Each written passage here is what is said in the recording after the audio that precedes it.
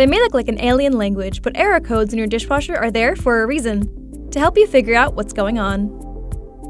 If your dishwasher is displaying an error code, follow along. We have some troubleshooting tips for common dishwasher errors so you'll know what to do if they pop up. An LE or LC error means that the dishwasher's leak sensor is detecting moisture. First, check the supply line to make sure it's properly attached and is not damaged. We recommend connecting the dishwasher to the hot water line for the best performance. If the supply line is incorrectly connected or damaged, it may be leaking, which could cause the error to appear on the dishwasher. Also, make sure you are using the correct type of hose. We recommend using a 3 8 inch stainless steel supply hose. We do not recommend using a polyethylene hose because you need to be very careful when installing this type of hose. Flood-safe hoses should not be used either. Finally, check if the drain hose is blocked and if the dishwasher is leaning forward. These can also cause leaks or make the leak sensor go off.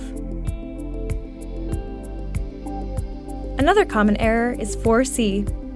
When this shows up, it means the dishwasher is not getting enough water pressure or that the temperature isn't hot enough.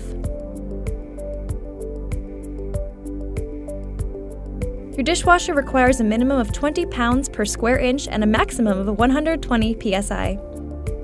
You should also make sure the hot water supply valve on the dishwasher is fully open and that the water supply hose is not kinked or damaged. There are two other errors you should be aware of. 5C means that your dishwasher can't drain, while OC means there is too much water. Even though these errors mean something different, the troubleshooting for them is the same because they're both usually caused by a kinked drain hose. Check the drain hose and, if needed, smooth it out to make the errors disappear.